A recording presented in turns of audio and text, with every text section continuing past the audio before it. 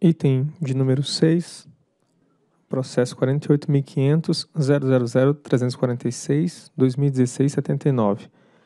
Trata-se da segunda revisão tarifária periódica da Cooperativa de Eletrificação e Desenvolvimento Rural Centro-Sul de Sergipe Limitada, a CERCOS, a vigorar a partir de 29 de abril de 2016. Relator é o diretor André Peptoni da Nóbrega, em virtude da ausência dele em razão de viagem de férias, o voto será lido pelo diretor José Jurosa Júnior. Contrato de permissão número 9 de 2008 regula a exploração de serviço público de distribuição de energia elétrica na área de permissão da SERCOS. Define que a segunda revisão tarifária periódica deve ser processada em 29 de abril de 2016. E a resolução normativa 107 de março de 16 aprova o submodo 8.4 da revisão do 8.1, 8.2, 8.3 do PRORET, que define as regras de reajuste e revisão tarifária das permissionárias de serviço público de distribuição de energia elétrica e minuta o termo aditivo ao contrato de permissão. E pela nova regra, as permissionárias poderiam optar por assinar o um novo termo aditivo ao contrato de permissão, ficando livre para definir a parcela B, em conformidade com a metodologia do PRORET 8.4 e manter as tarifas definidas no PRORET 8.1.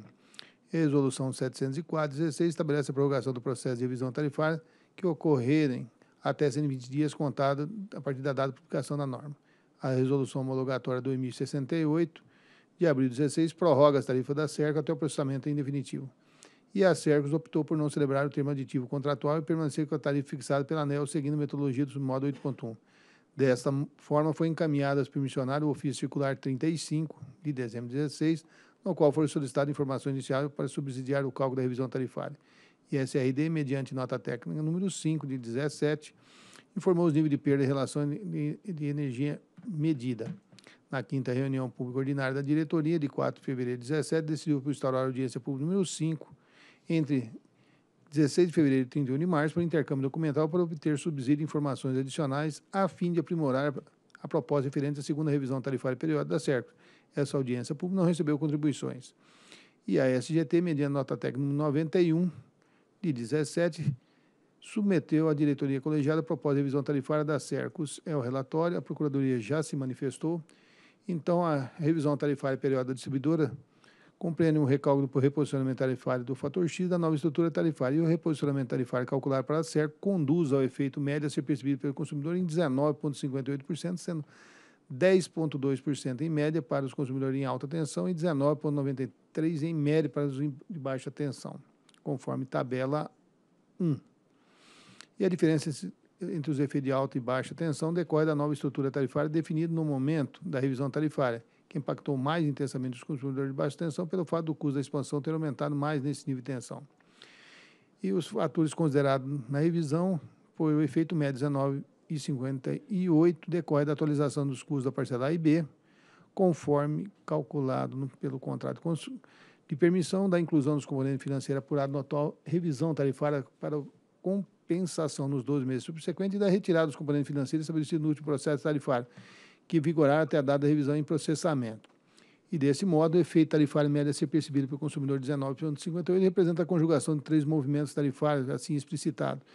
28,49%, resultando da atualização das parcelas A e B, a inclusão dos componentes financeiros apurados para o atual processo tarifário em menos 3,33% e o efeito da retirada dos financeiros considerado no processo ordinário em menos 5,58% que pode ser demonstrado é, conforme o gráfico abaixo, que é o gráfico 1.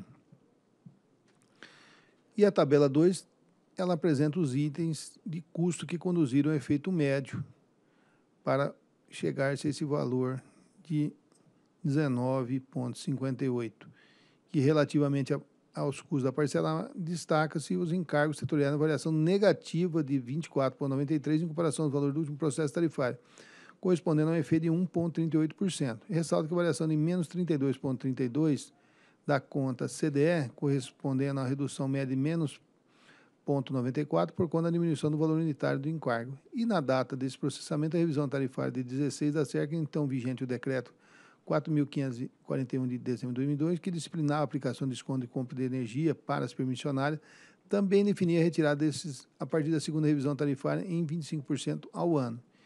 E o decreto 9.022, de março de 17, revogou o decreto 4.541, de 2002, no, no seu parágrafo 2 do artigo 8 que traz o comando que até o início da subvenção da CDE para compensar o impacto tarifário da reduzida densidade de carga do mercado cooperativo de edificação rural, o desconto vigente na tarifa de energia elétrica aplicada no suprimento das cooperativas concessionária ou permissionária ser reduzida a partir da segunda revisão tarifária periódica da concessionária ou da permissionária em razão de 25% ao ano.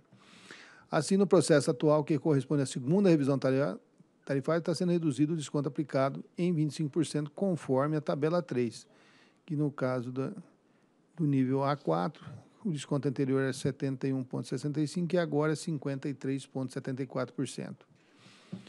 É, isso diminuiu em, diminuindo para a revisão tarifária com 10,97%, contribui para, para a revisão. E a diminuição do desconto a partir dessa revisão corresponde a um efeito de 10%. A diferença entre o efeito final e a redução do desconto da alteração deve ser a alteração no mix de energia. Observe que o gasto com o transporte de energia contribui para um efeito de menos 0,23% na revisão, o qual decorre da variação dos valores da CUSTES da supridora. Quanto à parcela B, que compreende os custos relativos à atividade da distribuição de energia elétrica, trata basicamente dos custos operacionais da remuneração e da depreciação do investimento calculado obedecendo a metodologia do PROET 8.1, conforme, conforme é, fórmula abaixo. E a parcela B, expressa pela soma dos componentes acima, resultou em R$ 4.441.883,84, fora a faixa de oscilação de 30% para a parcela B do processo anterior. Limite definido no projeto detalhado na tabela 4. Está aí.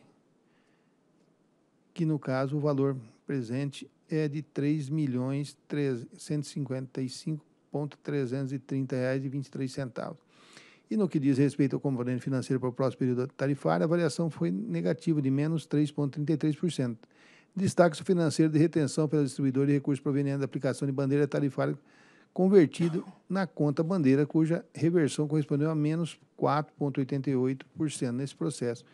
E quanto ao fator X, que são definidos no momento da revisão tarifária, Nesse caso, o componente PD para, para pressionar o valor fixo de 1,15, quando o fator T depende da relação entre a parcela B, atualmente vigente na tarifa, e o novo valor calculado, resultando nos percentuais da tabela 5, que no caso o PD é, é 1,55, o componente T em 2%, e o fator X, então, chega a menos 0,85%. E os gráficos 3 e 4 mostra, a composição da receita com tributos, que no caso dela o custo da, da, da distribuidora, nesse caso, é 65,4%, o custo da transmissora em 8,4%, o da, da energia em 20,2% e os encargos setoriais em 3,1%. E, o, e os ICMS, PIS e COFIN vai dar 3,6%. E o gráfico 4 mostra a evolução da, da tarifa B1 da Cercos, que está agora em R$ 546,46 bastante acima da, da tarifa da sua supridora Energisa Sergipe, que está em 432. E o, e o valor da, da Eletrobras a ser repassado é, para Cercos, em relação à competência abril 16 a março 17, é de 40 40.886,67 centavos. Essa revisão, no caso da prorrogação, produz efeito a partir de 29 de abril de 2016. Como se trata do processo postergado, as diferenças de receita com as tarifas prorrogadas que deveriam ser aplicadas resultando desse processo não serão consideradas no próximo processo tarifário. Sobre as tarifas de suprimento em cargos setoriais, os valores postergados não serão refaturados e as eventuais diferenças entre os valores contidos nesse processo e os pagos pelo permissionário também não serão ajustados no reajuste de 17. E o ajuste dos valores previstos e realizado na subvenção CIDEA entre abril de 15 e março de 16 também entregarão o processo de 2017. Então, a partir dessa argumentação e das considerações apresentadas no processo em tela, voto, voto no caso, André, diretor André, pela, pela emissão da resolução homologatória, conforme nota anexa, para homologar a revisão tarifária periódica de 16 da CERCOS a vigorar a partir de 29 de abril de 2016, conduz um efeito médio a ser percebido pelo consumidor em 19,58%, sendo 10,2% para os conectados em alta tensão e 19,93% para os em baixa tensão, e fixar as tarifas de uso e de energia relativa ao suprimento da SERC pela supridora de energia, Energisa Sergipe, firmar o valor das cotas da CDE e do Proinfa, homologar o valor mensal do recurso da CDE de R$ 40.886,67 a ser repassado pela Eletrobras a Cerco, de modo a custear os descontos retirados da estrutura tarifária, além de fixar os componentes PD e T do fator X, respectivamente, em 1,15% e menos 2%, e determinar o referencial regulatório de perdas de energia em 11,36% para os reajustes tarifários 17, 18 e 19. É o voto do diretor André. Em discussão. Em votação. Eu voto com o relator. Eu também voto com o relator. Eu também voto com o relator.